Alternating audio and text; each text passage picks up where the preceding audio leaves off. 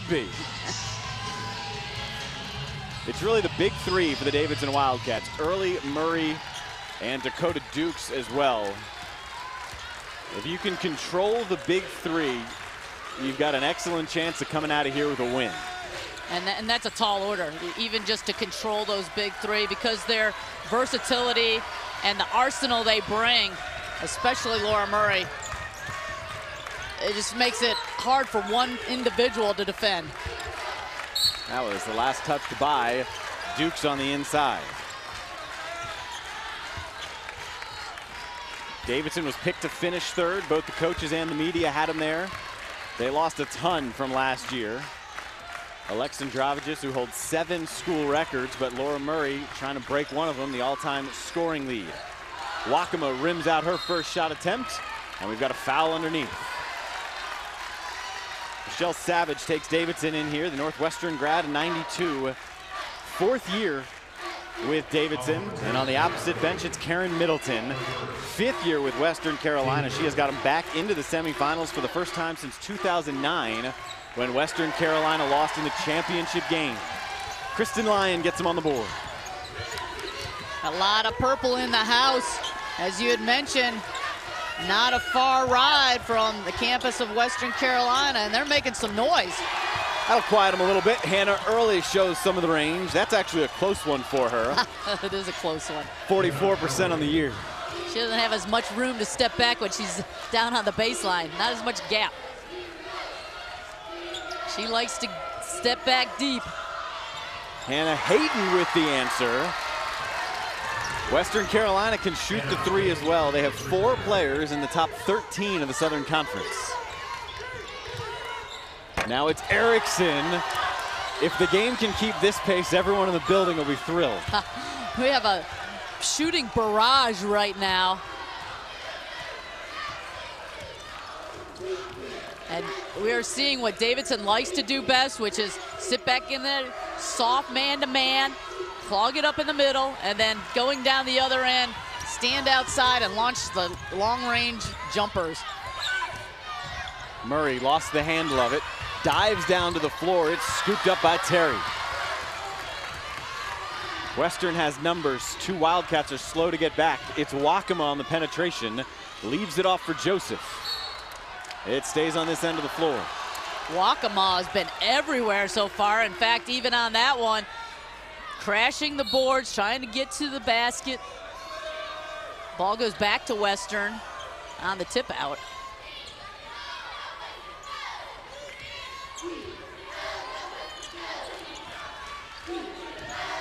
Here's Terry. Lost it as Dukes got a hand on one, missed with the right hand. And we got a foul here as McCabe was pushed down. How about the keys to the game, Robin? Western, they're always stingy in their defense, third in scoring defense in the conference, and beyond their three big scorers. They need Joseph, they need Simpson to step up and hit. And then for Davidson, that's that balanced scoring that we've talked about, the big three, but they have got to rebound, probably the biggest weakness in their program. It's tough when you're replacing Alexandrovicus and you've got another one of your big girls out, Mel Geigrich, got injured early on in the year.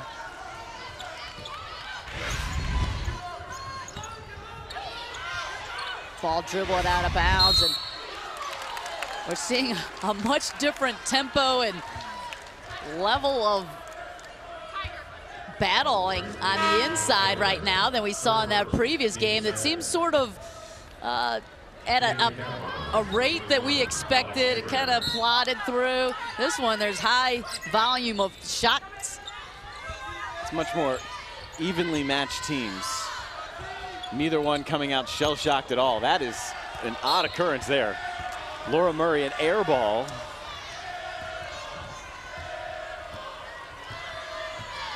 Karen Middleton has a pretty nice resume in herself, a player at South Carolina. She was assistant there at South Carolina, East, Eastern Washington, and then 10 years under Tara VanDerveer at Stanford. Murray made up for her air ball, steal and an assist to the trailing McCabe.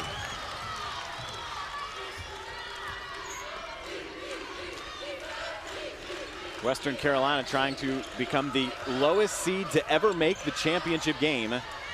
They currently hold that record. They were a six seed in 2004. Under Kelly Harper, they won the championship as a six seed in double overtime. Here's Murray again, second straight steal on a Western Carolina possession. Laura Murray is another one of those heady players. We saw Taylor Hall in the first game. Murray, very similar in that she has range and she has versatility in her game. Both ends of the floor as well.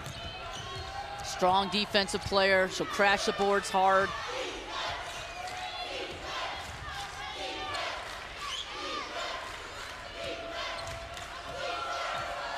Senior Hayden, and now the sophomore Joseph, who spins her way around Erickson. Picked up by Lyon, who works in against McCabe. Nice box out by Davidson. A lot of white jerseys on the inside. Ball even hits the deck. Murray now sliding to her left. Count the basket for Murray. I like the energy. I love the fist pump at the end by Murray. The senior Murray has Davidson out to a seven point lead. Chance to make it eight.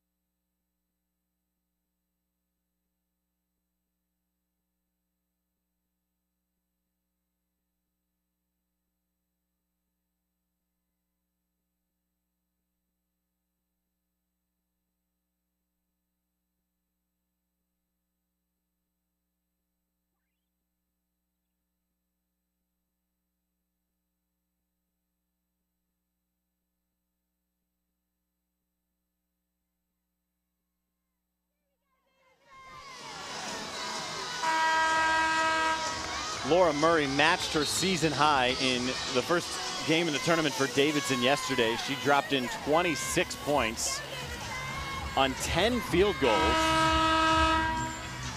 And her basket now makes it five starters, all who have scored for the Wildcats. It's about as balanced as you could be in four and a half minutes.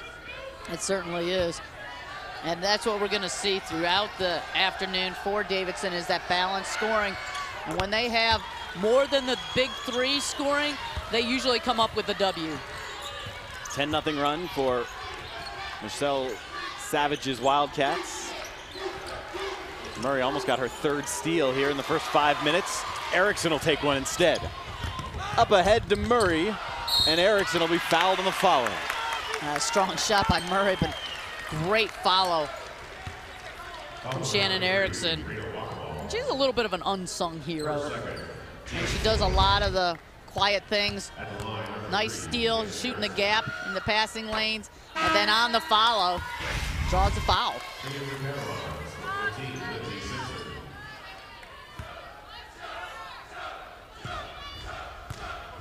Junior out of Fairfax, Virginia. Bumped up her play in conference play this year, helping Davidson out to an 11 and 7 record in league play. Run extends by a point. Lasts about the last four minutes here of the game. Well, we thought we'd see a back and forth battle, but this zone defense by Davidson, very high and wide, just taking away those seams for Western Carolina.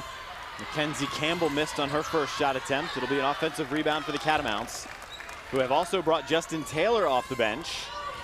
20 point efforts in each of the first two tournament games, including 26 yesterday, a new career high.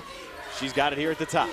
And she was 13 of 13 from the free throw line yesterday, including those last six I talked about in that sealed the deal for Western Carolina over Furman. This, remember, Darren, this is their third game. Davidson has just played one. Western had to play in, then they played again yesterday. Third game in a row. Be interesting to see how those legs are holding up. Confidence is a wonderful thing, isn't it? Once you get on a roll. It sure is. Here's Piles, the freshman using the window. 13 nothing run.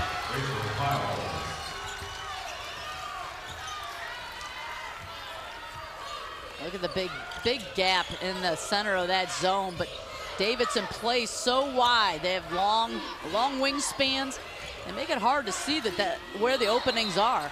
Lindsey Simpson had that right heel on the sideline.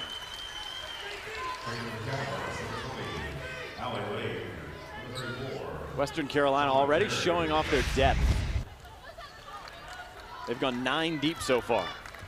Uh, here's a look for Davidson without depth, but their freshman going with the move to the baseline side. Nice job using the window.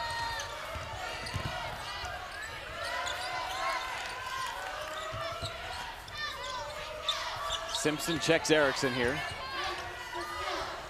Down into the corner, the three rims off for McCabe.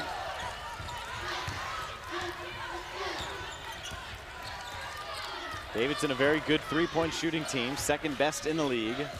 Of course, paced by Murray and Early.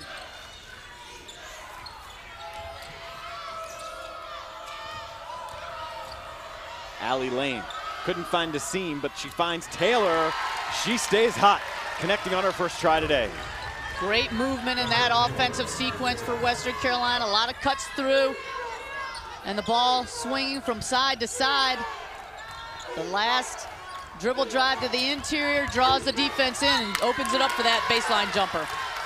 Western had missed its last eight shots. A badly needed one for the junior college transfer off the bench. Allie Lane working the point guard spot, number 20. She and Hannah Hayden, who's now on the bench, interchange, and they bring different strengths. Hayden's a scorer. And Campbell's a three-point shooter off the bench, seventh best percentage in the league. Western has answered a 13-0 run with a couple of threes. Here's Early for the answer. There it is. Early makes it look easy. That's the second time from the same spot. And whenever Davidson needs an answer, you're going to see Early or Murray with the ball. One of three Wildcats that averages in double figures. Lob into the traffic. Piles was the one who got a hand on it.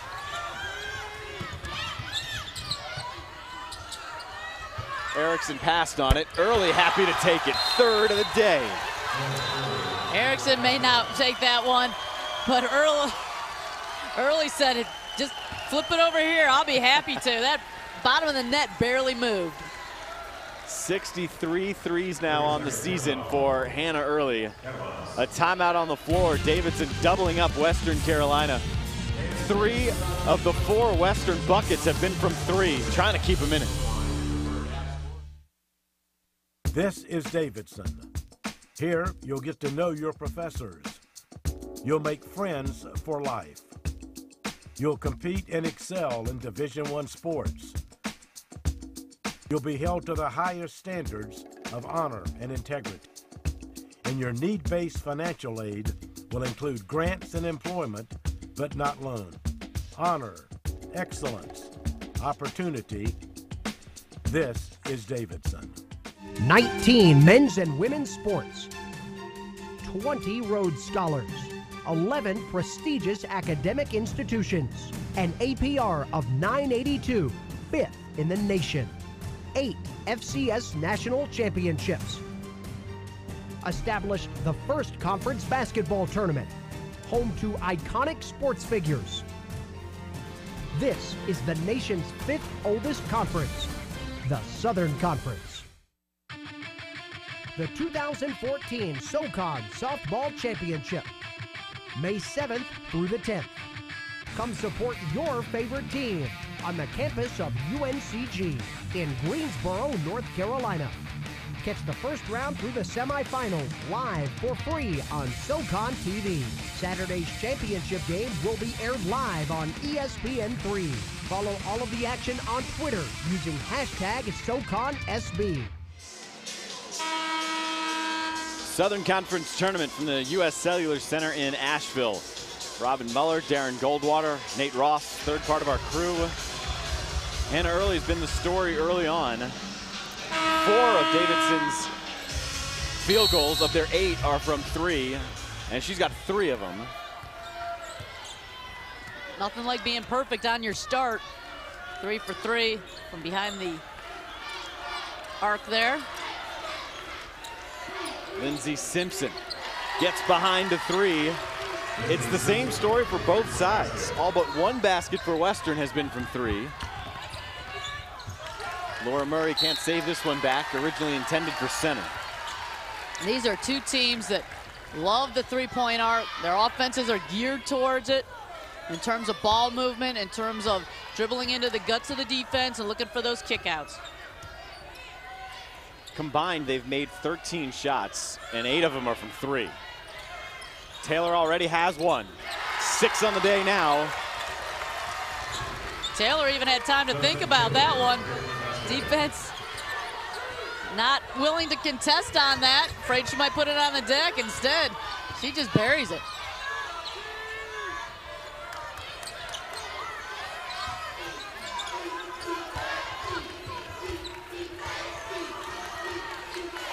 Now the Wildcats will go inside. Piles lost the handle, but she was fouled.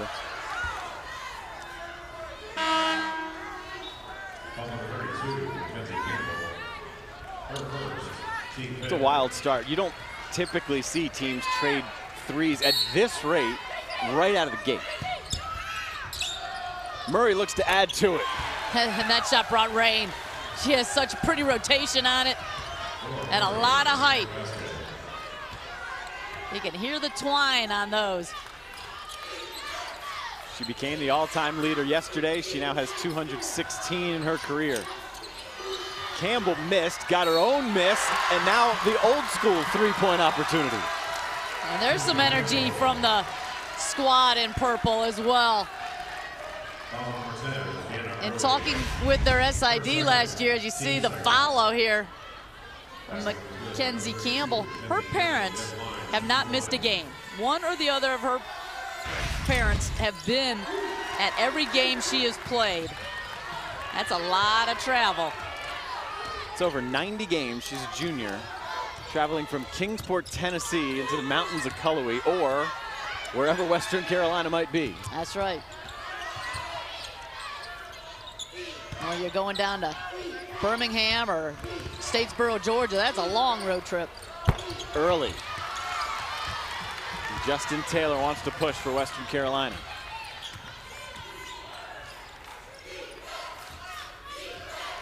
Davidson went on a 13-0 run. Their lead grew to as much as 11. Western Carolina can get it back to a single possession game here inside of 10 minutes left in the half. There's Lindsey Simpson with the runner off the glass. Nice play. Duke saves it back in. Nice shot, well contested. Simpson didn't really have enough on it to get the shot to go down. Quick pull up here for Murray, halfway down.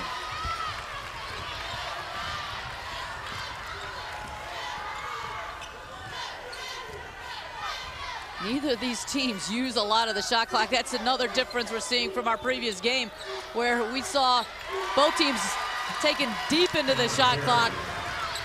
If this gets below 15 seconds left on that clock, something's wrong. The bad pass from McCabe. Allie Lane picks it. It's wild that Davidson wants to play at this tempo considering their lack of depth. Now Lane spins around McCabe.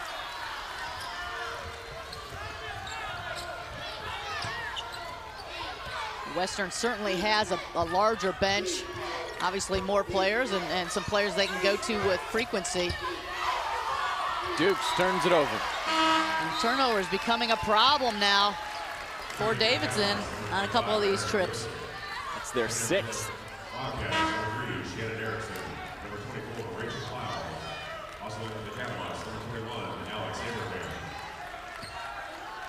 What a difference between the second semifinal and the first. Chattanooga had a 20-point lead in the blink of an eye.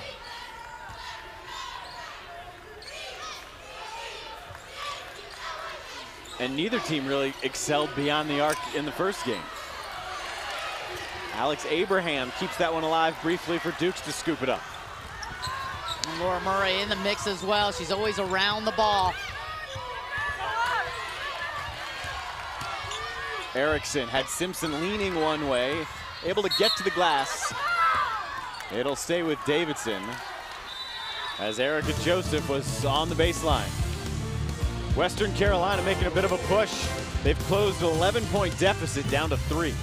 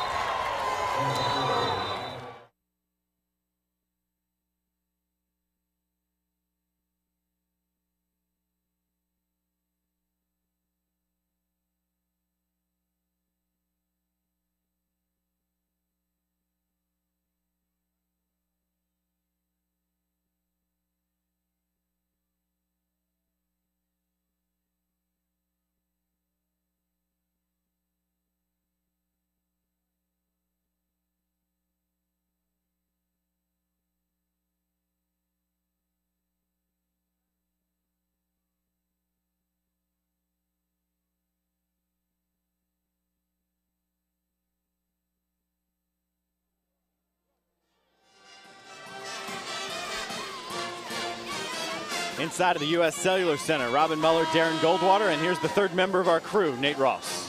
You know, Robin, I love listening to huddles. It's not a complicated game.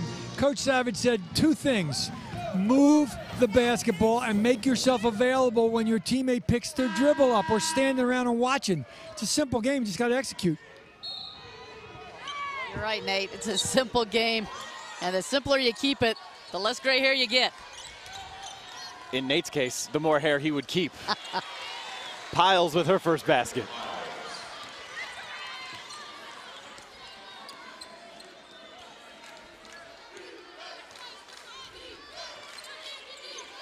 Winner gets the Chattanooga Lady Mocs in tomorrow's championship game and the automatic berth in the NCAA tournament on the line there. Taylor. And a foul as Joseph hits the deck. Erica Joseph has come a long way this season. Just a sophomore. 11 points yesterday and becoming a very physical presence. You can see the co contact on the inside.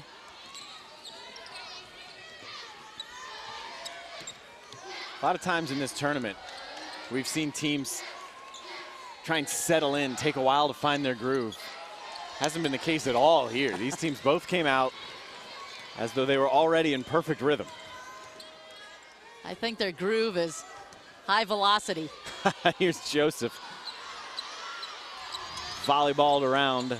Alex Long controls. Talked about one of the keys for Davidson is that they've got to rebound. Well, it's tough to rebound when you're shooting over 56% from the floor. There aren't those opportunities to get the ball back again.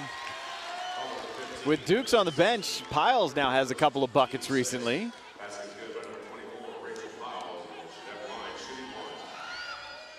And Piles, perhaps the fourth scorer that the Davidson big three need. They've usually been able to find somebody, and it hasn't always been the same somebody, but when they got that extra punch from another player, that's where their success comes. Very unexpected. She's one point off of a career high right now. She's got six. Inside 10, Allie Lane tries to break down long. Instead, it'll be up top to Erica Joseph. Piles feeling good. She wants it down there on the block. Instead, Davidson reverses to the other wing. Here's Dukes. Turns it over. Nice job reading the handoff. Justin Taylor able to deflect that back into her own hands. And that's a play you're going to see a lot from Davidson, and they have the timing down pretty well.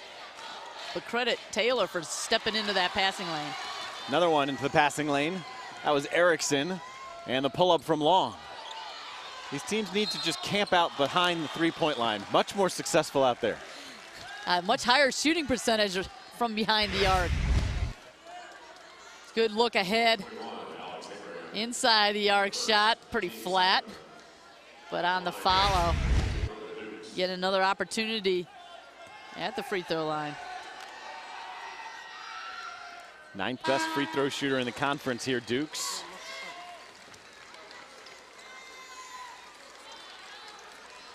And the first break of the day for Laura Murray.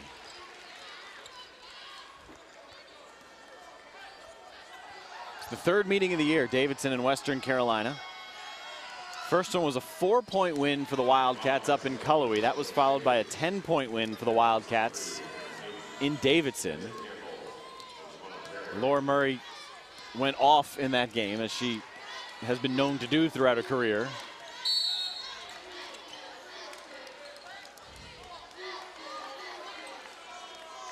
And right now, buoyed by the play of the freshman Piles, the Wildcats have produced their second significant run of this half, had 13 straight earlier, seven straight now. As long as they can maintain that pressure with the margin, they can be in the driver's seat. Hannah Hayden missed the turnaround.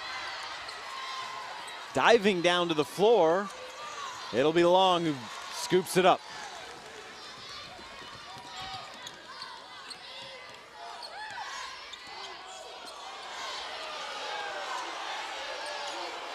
Little miscue with the dribble there. Fans asking for a double on it. And they're not going to like this one either. Didn't get that call. Then it goes out of bounds and stays on this end. And a very short break for Laura Murray. She's right back in it.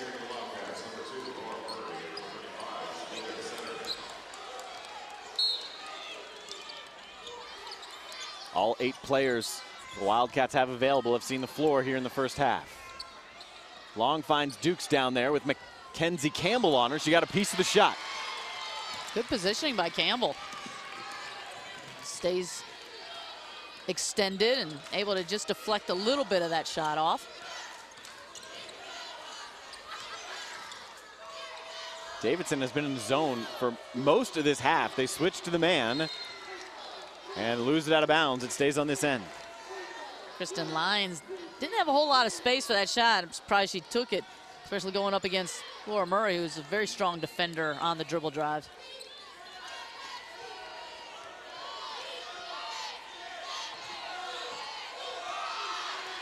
Four seconds on the shot clock here for Hayden. With two, she'll pull the trigger.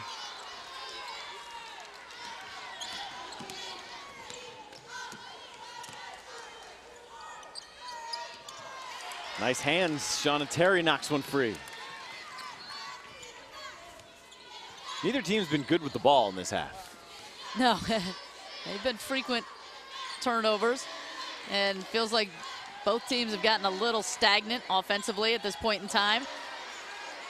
Perhaps good defense, perhaps just sloppy play.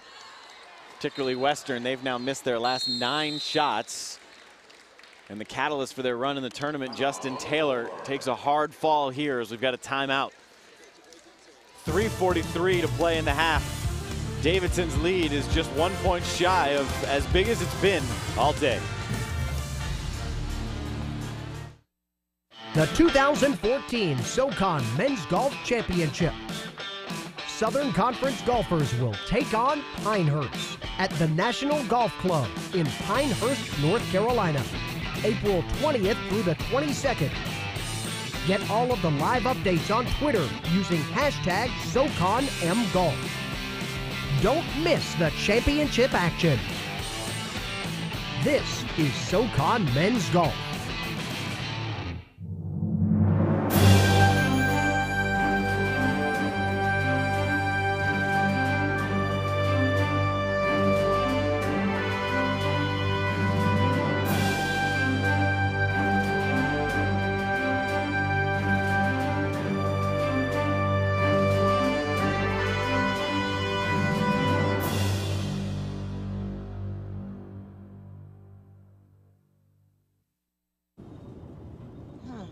Fifteen minutes could save you 15% or more on car insurance. Yep, everybody knows that. Well, did you know that some owls aren't that wise? Don't forget I'm having brunch with Megan tomorrow. Who? Megan, my coworker. Who? Seriously, you've met her like three times. Who? Geico. 15 minutes could save you, well, you know. Nobody came into this semifinal round feeling as good as Western Carolina. Certainly Chattanooga came into the semis with a big winning streak, but the story that was the unheralded story was Western Carolina. Yet this is now their second long drought in the half. They had missed eight straight earlier. Now they've missed nine straight. And you pointed it out, Robin. This is the third game in three days for Western Carolina, whereas Davidson had a bye into the quarters yesterday. And as a coach, you don't make a lot about that to your team, but underlying factors prevail in that there's still some fatigue. Shanika center. This is a deep two. Both feet were on the line. Even though there's plenty of depth. Nobody's used to playing three games in three days. Try and play in the early season tournaments to get some type of a feel for it. And finally, it's Shauna Terry who takes the lid off the basket for the Catamounts. Well, and, and if you had a feel for it early in the season, you've lost that feel. And even those early holiday tournaments, it's generally just two in a row.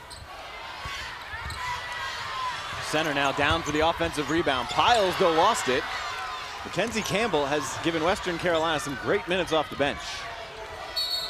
Wakima walked with it. A, little too creative with the steps there. Western's leading scorer has yet to score, Wakima. They need a little bit of production from her going into this halftime, give them a, a bit of a boost.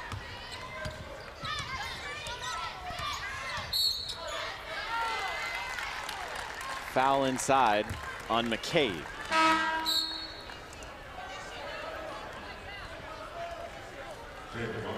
Michele Savage wants an explanation, asking what she did a couple of times.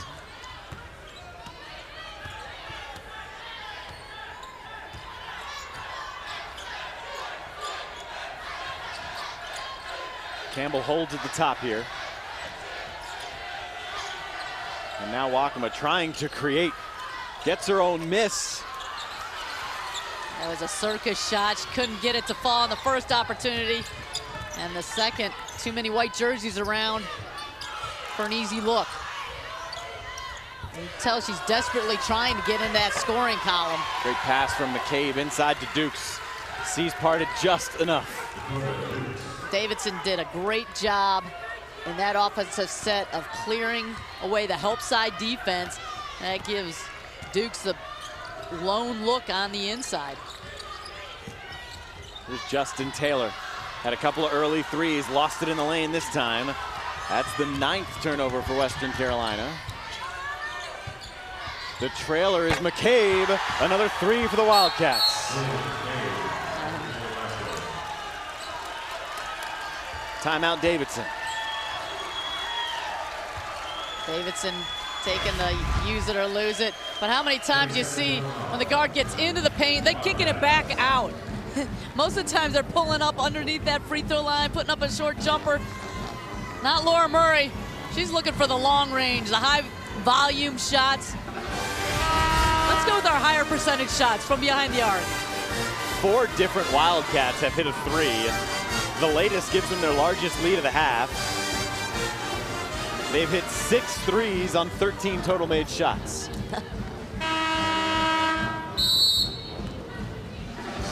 It's pretty scary when your three-point field goal percentage is even with or higher than your overall percentage.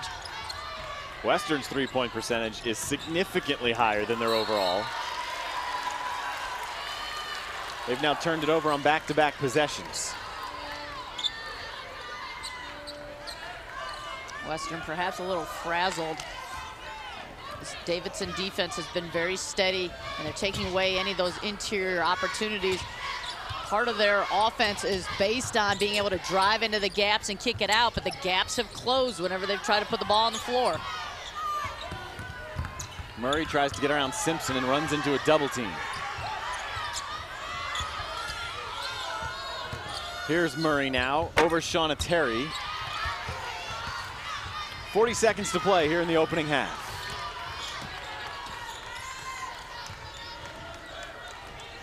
Davidson used a 13-0 run to separate from Western, which only led by two early on in the game. Here's another three from Mackenzie Campbell. And Terry keeps it alive. Nice rebound by Terry. Now Western can hold for the last shot of the half. Perhaps close this gap. Easy look inside for Terry. Deserved it after getting the extra possession. Great recognition by your guards. Let's reward our post player for doing the work. At the buzzer, Campbell turns away Alex Long. Great half off the bench for Campbell. Three boards, six points, a couple of blocks. But it wasn't enough to stem the tide of the Davidson Wildcats shooting. They knocked down six threes. Four different players hit a three. And the Wildcats looking for their third trip to the championship game have an 11 point lead.